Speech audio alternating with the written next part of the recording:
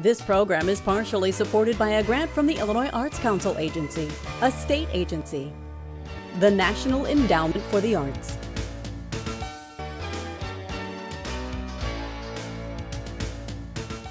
By the Corporation for Public Broadcasting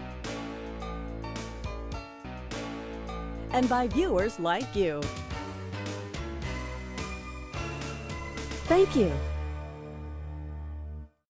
Hi, I'm Becky Cramblett. Welcome to this edition of State of the Arts. For a community the size of Jacksonville, there's a whole lot of art going on. Today's program features two Jacksonville artists. One of these artists is someone who followed her dream and recently opened her own art studio. The other is an artist who followed the yellow brick road wherever it led him and ended up a freelance designer. Our program begins today with Allison Pratt, owner of 29 Gallery and Studio, recently opened on the square in Jacksonville.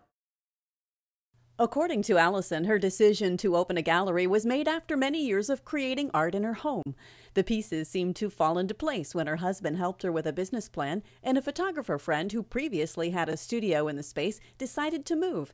She feels she is blessed with a talent and wishes to share it with the Jacksonville community.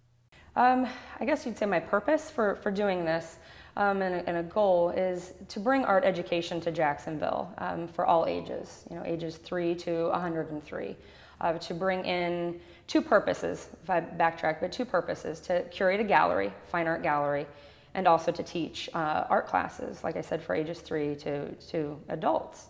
Um, for kids, for adults that may have a little bit of an intimidation of art, always been curious for art, and to bring in other artists to teach classes other than myself. Or that's, that's another kind of purpose of mine is to draw in artists, different types of artwork from all over. I have several friends international, all over the United States and, and international that I'm hoping one day to bring in and, and we rotate artists every 60 days. So there's always going to be something new and different here at 2-9. How do you find the artists? Uh, from, I'm part of an international abstract group um, online. I started a blog about seven years ago. And through that, I have met phenomenal artists um, from Colorado, Arizona, um, another friend of mine from Florida, and from that, you just, it's all about networking. Kind of like anything, you know, that we do um, today, it's, it's all who you know and different groups that you belong to. So when you have a lot of friends that do this as well, you can reach out to them and everyone currently right now that is hanging here is a friend of mine and, and I owe them a lot of thanks for helping me to get this going. And you're right down here on the square mm-hmm. on Jackson in Jacksonville, right. and quite often there are art-related events. Is that right? That just happen on the sidewalk. Absolutely. The first Friday of every month, the uh, Jacksonville Imagine Arts Foundation um, is a nonprofit organization, and several years ago they started a First Friday Gallery Hop, downtown Gallery Hop. Um, I think in the beginning there were six, seven, eight uh, different places on the square, and possibly even more that would curate, um, being from restaurants to the bookstores to Lincoln Land Community College, just on the north side of the square across from me here, and a couple other galleries. And they started curating different artists. The Imagine Foundation put that on and provided the art. They curated and found the artists. And so it's still going. It's a, it's a fabulous thing for Jacksonville. Allison's own work has continued to evolve. A graduate of the University of Missouri at Columbia with a major in graphic art and a minor in photography, she had never painted abstract until about seven years ago. Now she feels it's her calling to paint and teach abstract art. What, what is your inspiration? You know, color. Um, and that's really, that's all I can tell anybody is color and movement and emotion. I am, I'm not one of those artists that paints when I'm feeling that certain emotion, but it's kind of after the fact that I kind of go back and reflect on how I was feeling or, um, and, and, honestly, I don't even know what I'm doing prior to painting. Sometimes I know the color scheme I'm going to use, the palette I will use, but I just, I, I pick my colors, I go with the movement, I kind of let my brush, my palette knife take me to what I'm going to do. Do you find that people see what you saw when you created it? Sometimes, you know, abstract is um, definitely uh, it, it's hard, I think, for some people to to get abstract. Uh, a lot of people have to see. They want to see something. They want to see a landscape. They want to see flowers. They want to see people. Uh, in my work, and I always say when people are, you know, standing and, and admiring it or looking at it, you're not always going to see something. It, but sometimes they do, and I think, and to me, that's fascinating as the artist mm-hmm. to have, you know, ten people line up and see what they come up with. But it's more the movement. It's more you can see. I have a lot of texture to my work that I that I've in the last two years incorporated, and you can kind of feel that. I when when it's dry, I encourage people to maybe touch it, you know, just to feel where my brush went, where my palette knife went, and you can kind of feel that emotion, I think, coming from me then. What other elements have you discovered uh, to use to accomplish texture? The different mediums I, I tend to use, uh, we talked earlier when I, I use drywall mud. Mm-hmm. Drywall mud meaning when you have a hole in the wall and what your contractor brings in, that big bucket of, of the paste and mud. And I have found that that builds the layers instead of using a lot of paint like I used to do. And uh, like I said, they got kind of expensive, so you have to just kind of play around with different things. Um, I've used sand, I've used corn silk, uh, rocks, pebbles, you name it. You can Duct put, tape. Duct tape, yes, I, I, have used duct tape. It makes just amazing lines, awesome lines that um, stand off when you want, you know, the verticals, the horizontal lines um, to kind of give a horizon look, such as the piece standing uh, that's here behind me. Um, but it's, you know, it's kind of fun to do that stuff. Yeah. When, when you do sit down to create something mm -hmm. and, and you say that you want people to see what you see, do you see a concrete image in your head that you then turn into an abstract piece of art? You know, not necessarily. It's, um, I, I, I, don't know if uh, there's a lot of artists that think like I do. Um, we're all kind of a little bit, you know, we're kind of in our own world. Um, and the way I see things is so different. I just, I know kind of the textures I want to use. I know um, maybe a little bit of background of, you know, do I want to use circles? Do I want to use lines? And to kind of go from there. And like I said, I just, I crank the music up and I go with what music I'm listening to and back and forth. And I mean, it's anything, you know, Norah Jones, Janis Joplin. I mean, I love all kinds of music, jazz and blues. And I kind of go with that because sometimes it's like writer's block. Mm-hmm. Um, artists get that too. I mean, sure. I, you know, I, I guess I call it an artist block and it's, we get frustrated and I do get frustrated. And so you do have to walk away from your piece sometimes because I want something to come through. It's, it's a creative block more than anything. What uh, direction do you see your gallery going in the next few years? Well, I sure hope to keep it. You know, I, I sure hope to keep this thing going. Um, I just I want it to grow. My classes right now are doing really well. Um, for only being this is our second month. We opened June 1st, and I've had a, you know, great feedback from people and, and the community. Um, very supportive of it. I'm really hoping the classes will evolve more. I'm hoping to get a little more interest in, in the ages two, three, four, and five year olds um, because they're, there's not a lot right now for three-year-olds. I have a three-year-old, and it, it, we have music classes and, and some art classes, but for them to do different types of things. Um, I would love more for the adults to get over their intimidation, their fear, or um, it's not a negativity, but I think it is more of an intimidation to sure. to do things now as an adult because we're so busy. Um, I would like the community to, um, and I keep saying the community, but it is the community to take a break. Take a break from that job, take a break from your busy schedule. Children and adults get stressed, as busy as we are now. And it's fun to come in, bring your girlfriends in, have a girl night, and you know, bring in your own bottle of wine and just relax. So you think you can teach any adult to create a piece of art? I would like to think I could. I think it's always great to have a student come in, an adult in different ages to come in and bring that inner child out with them. Um, so it's always a challenge to do that, but I think to go back in time and to bring forth that inner child, things that we remember as a child, finger painting. Always start with finger painting. But to draw, I, I can teach people how to draw, um, starting out with a lot of abstract, because I think that's probably what we did as a child to draw sure. lines and, and, the color and the color theory, to bring that back, and it sometimes brings forth that creative energy in you. Okay, well, I'm going to give Allison her biggest, probably creative challenge of her life. Absolutely. I'm a creative person. I really am. I'm creative. But I can't draw anything. So are you are you up for this? I'm up for it. Let's do it. Let's do it. All right, Allison, you're going to do the impossible. You're going to teach me how to create some art here. So I picked a really good project. Um, I actually I teach a class uh, later on this afternoon, and it's called Marker Mixed Media Doodle. Okay. Doodle, just like any of us that have sat there before, scribbled, doodled on our notepads in school, um, or as you're sitting and talking on the phone, um, it, it's kind of like that, but it adds, you know, a little more color theory to it, um, a little more thought press process behind it, um, kind of get you to think, and it's a good problem solving when I teach all ages. This one actually today is a mixed age group, um, okay. so it's it's kind of cool because I do have an adult class doing this, and and to teach that problem solving and to kind of just let your mind wander a little bit. Mm-hmm. So, so we uh, well we start out the paper and the markers. Um, the way I teach this class you always choose one color to, to draw your lines. Okay. Um, and to keep that solid color going. We choose anywhere from three to four colors, um, as I already have that we will then use to do, you know, to color in the shapes that we create by, by our doodles Okay. and kind of abstract. So I'm going to pick a dark color to do my Mhm. doodles. yeah, I mean, you can, you can really do anything, but I, I always choose the dark because it makes all the other colors stand out. Okay. Um, Right. and you kind of just start, and we've used, uh, we recycle and use all kinds of stuff. So we've, you know, we have clear caps that we have taken to, um, to do circles, perfect circles. Mm-hmm. Um, you always start, you don't have to start in a corner, you can start really any, on any edge. Okay. And the way I, you know, I've started, kind of got it going here for us, but you can start on the edge, just wherever your hand wants to take you and make curved lines.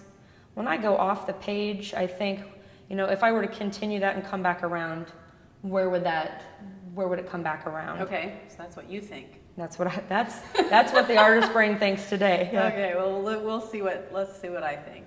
Okay. So we'll we'll kind of do that. Sure. Okay.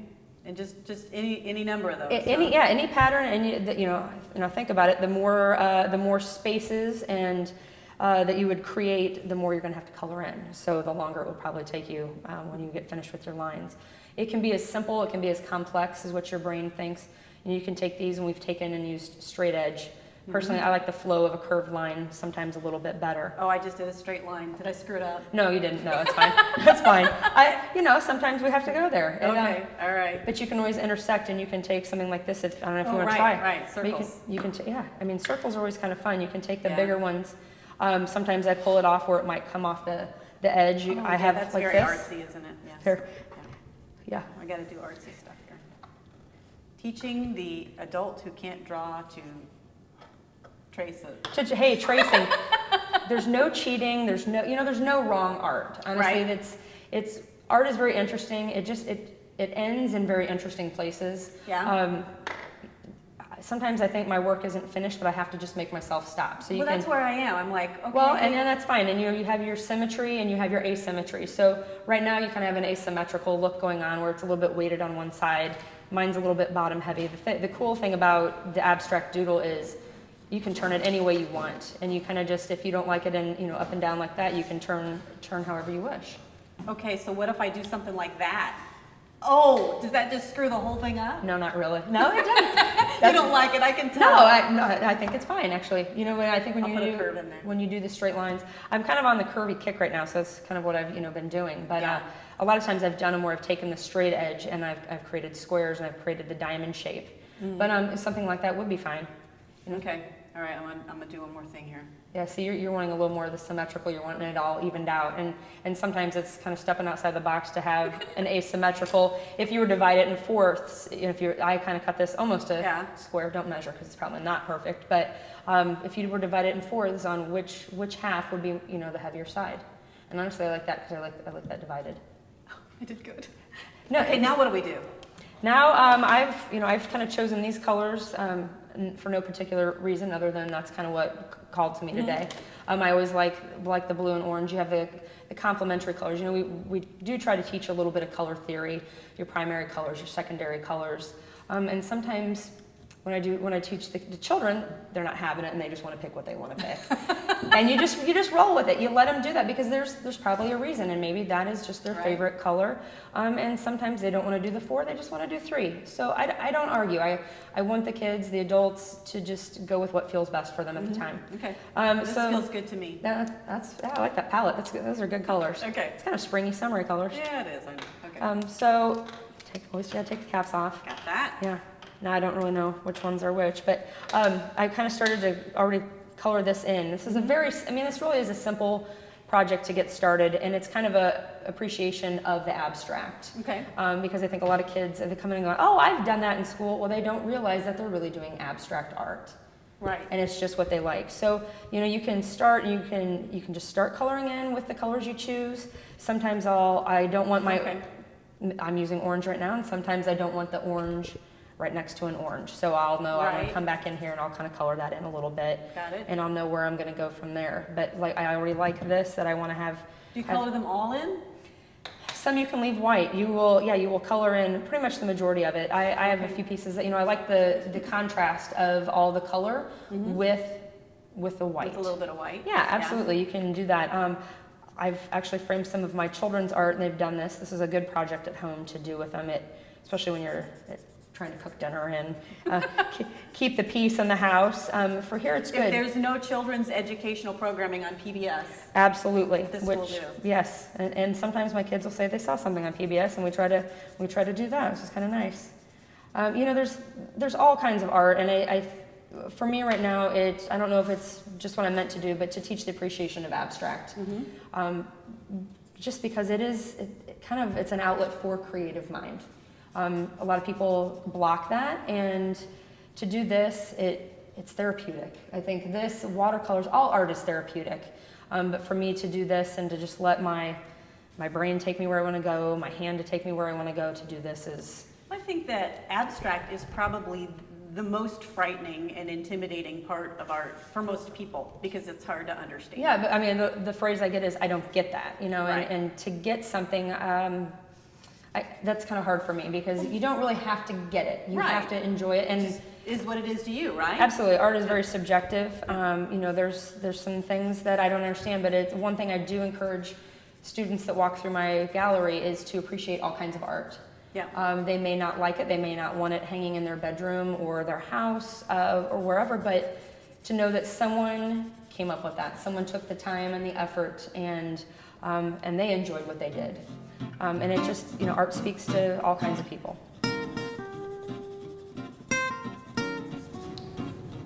You call that good. Sometimes artists set their course and hope that life will allow them to achieve their dreams. Other times, the course is already set and all you have to do is follow the plan where it leads. Such is the case for freelance designer Steve Varble, and this is his story. When I was a little kid, I loved to draw, like a lot of little kids. My mom claims that uh, one of her friends, who was an art instructor, actually thought she saw a glimmer of talent and maybe it should be encouraged. So from that moment on, I I got all the free magic markers and pencils I wanted. Awesome. But, um, but actually, back in junior high, uh, there was a style that started to emerge. Uh, my brother had actually got me some um, a set of really nice professional magic markers, and I wanted to use them in a really special way. And I um, started drawing uh, very complex cartoon drawings. You know, I used markers today, and mine didn't quite look like this. I got to tell you. no, but they got very it got very detailed, and uh, we just play with ideas and just started producing uh, wow. drawing after drawing, and these are just one of many. Yeah. Uh, Steve went on to college and studied architecture, then switched back to art. He had a professor say he wasn't a fine artist, but an illustrator. At that point, a light bulb went off in his head, but he didn't completely find his calling until he came back to Jacksonville. My brother, had, who lives in upstate New York, had seen a project which was a cartoon map of his city. Mm -hmm. So he encouraged me to draw a cartoon map, similar in style to what I've been doing in junior high, uh, of the city of Jacksonville. Right. And um, the result was um, this piece. Um, it's very complex, but it was what I did is you went around and talked to every business in town and see if they wanted to um, uh, have their business represented uh -huh. on the map. And I remember the time because I was very naive, but it was I was going to charge them each forty five dollars, and I was I had it all figured out. I could make maybe 500 bucks. And then I'm like, oh, if they want their phone number, I'm going to charge them $55. You're going for the big bucks. I was going for the big bucks. And anyway, the most everybody went for the $55 package. And um, um, but what I'd actually done unintentionally was advertise myself to almost every business in Jacksonville. Mm -hmm. um, anybody who needed, if you needed a cartoonist, you knew who to go to. But um, what was very fortunate, there were uh, a couple gentlemen at Illinois College who um, recognized other abilities as well, and they mm-hmm. started calling uh, for me to do other types of commercial work for them. Right, right. Um, this is an example of this is a painting done of the um, Paris Opera House. Mm -hmm. Very different style, of course, right. from the cartooning. But what is similar nice. is um, I do love color, so right. Yeah. Um, you'll see that type of thing. Uh, is a piece I did for uh, Illinois College, they were opening a new coffee house on campus, and it was supposed to have a Starbucks feel. The students asked for some fun artwork. We had discussed hiring some artists out of Springfield actually to do the artwork, paint paintings of campus or something, and I ended up getting the commission. so again, have fine art hanging in the coffee house, painting um, right. uh, on campus down there, but. Um, again reflects the fun, same fun style, but in a fine art, Right. in a fine art way. yeah. Right. So then where did it go from there? Well, you start going down that path of graphics and marketing, which is profitable. I mean, it's something businesses need. Um, but on the other end, um, well, where we are today, this is a company called Taylor and Coultas, based in uh, Jacksonville. Um, I came in here one day with a friend. We were looking for some fabric for a project his wife was doing, and we were actually standing in about this very spot. And um, the owner of the company kind of knew of my work uh, through her husband, and they called and said, "Would you be interested in designing products for us?" Well, I didn't know what they were even talking about. Like, like what do you mean What? products? Well, they made towels and quilts, uh, different things like that. Um, at the time, the company was doing strictly um, country crafts. Um, so I came in and brought some uh, designs in, some drawings, and 20 plus years later, I'm still designing work for them. Well, and Um, where, here, here he is. This was the first guy that you did, right? yeah, this was the very first um, drawing I did for the company. Um, at the time, was in country colors Right. on a dusty blue. You know, that, that was the style at the time. He has stayed in the line for over 20 years. We just change his colors That's out every now and then. Yeah. Besides working for Taylor and Coultas, Steve is involved with many Jacksonville businesses, organizations, and individuals. One such collaboration is an illustrated book with local playwright and author Ken Bradbury. uh, he and I are friends, and he called one day about a year and a half ago and says, "Hey, I think we should do a book." and at first, I'm thinking he wants me to do the layout for a book he's doing. Well, it's not. He wanted me to do the illustrations. It was a collab, a collab, a collaboration between the two of us, and we uh, produced this book called "The Place Where We Live." Um, and it's it's a book about a town.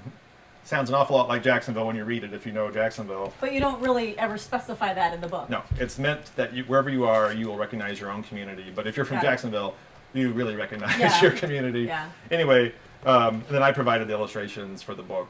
Uh, Ken did the writing, of course. Um, and uh, we had this released right before Christmas last year and have been selling Very copies. nice. Yeah. Um, it's a real fun project and nicely uh, produced in Jacksonville because we Mhm. have printing companies and a bookbindery. Um, we're able to keep this is a truly locally produced product. Right. Yeah, I don't think it left a five mile radius. You know, that's that's where it came from. That's so. great. And then there is this little mural project Oh, in yeah. downtown Jacksonville. Well, if you live in Jacksonville, it's a small town, so you get involved in lots of stuff. So, as an artist, one day the the topic came up of all of our blank walls in Jacksonville, and I um, was on the committee because our committee met in a room that faced a blank wall in a parking lot, and it was, can we paint some murals on on these walls? And um, everybody kept looking at me, and I kept telling them, well, I sunburn too much. I can't be outside painting a mural all the time. Um, but I said I could in the afternoon after 12 noon when the shadows, you know, move over. But they, um, after talking for a while, we discovered there was a group uh, that has become fairly well known in this area called the Walldogs, who paint murals. Um, they go around. They actually have these little parties, these painting parties over a weekend. Well, we arranged to uh, meet with them, and I became head of the committee. Had a wonderful group I worked with, and we were able to produce seven murals for Jacksonville. So rather than just the one wall that we were staring at getting filled, we suddenly had seven projects in town um, that reflect the history of Jacksonville. So it worked with the artists on creating what the topics were, what these murals would look like. We had one mural that we had found a kind of an unknown history of Abraham Lincoln when he spoke on the square in downtown Jacksonville. The mural became um, depicted that topic of Lincoln giving this speech, and uh, it was actually awarded as a Looking for Lincoln site now for um, the Looking for Lincoln Coalition. Very cool. Yeah. So that project, which started out very small as a single idea of me getting sunburned, just ballooned out into the. Now we even have a registered Looking for Lincoln site. So yeah, yeah. Again, boom! It just Boom! happened. It just happened. Yeah, you just things like that just kind of happen. Yeah. Yeah. But if you're in the right place in the right time and know what you Yep. want, yeah, you can make make stuff start So if you are left to your own devices to do art in any way that you want, what is it that you enjoy doing? It was funny. Somebody asked me the other day, "What do I do for fun for art anymore?" And I said, "Fun. it's all work. it's all work." no, actually, I do. Uh, if left to my own devices, you you get cartoons. That's kind of what you get. Right. Um, it's what I like is creating characters. I like Mhm. color and creating characters, and that's one of the things that goes through all the pieces even these crazy tiles that we create that are made in China, it's all about creating fun characters. And, um, and somehow I always put a personality into each each thing. I think that's what keeps my mind active. Think all these little characters have names and backstories Yeah. in my mind when I create them. So, um, including the turkey. So, Do you, do you have like a certain place that you go that provides inspiration for you? Is there something specific or? one of the um, perks that I bring to a customer or to my own work is um, I'm just absorbing constant new ideas, and I just keep filing them away, and then it comes out later as something, um, uh, either patterns, colors, textures. So there's always something rumbling around up there. Oh, there's um, I mean, definitely most people that have uh, more ideas than time. Uh, just it's um, which is why I volunteer in a lot of different organizations because um, Jacksonville's full of wonderful people who volunteer for different projects, and we get lots of things done. Um, uh, the downtown renovation project, the Looking for Lincoln coalition uh, that I've served on, that we've been accepted into, the mural project, um, just unlimited. So. There's one front leg. There's his other front leg. There's his back leg.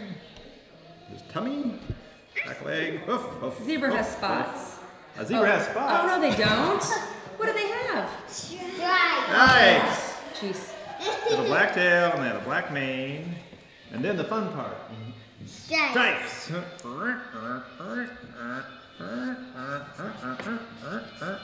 How about that? Is that cool? So are the zebras black with white stripes or are they white with black stripes? White with black stripes. I think you're right. Hmm? There you And we'll make them smiling. That's all we have time for on this edition of State of the Arts. We'd like to thank Allison Pratt and Steve Varble for sharing their stories and their talent with us today. Be sure and join us for the next State of the Arts. For all of us, I'm Becky Cramblett.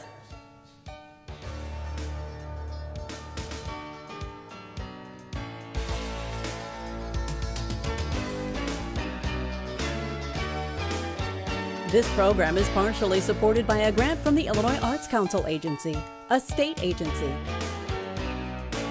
The National Endowment for the Arts.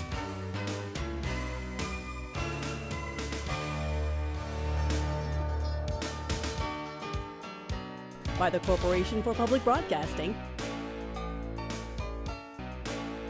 And by viewers like you. Thank you.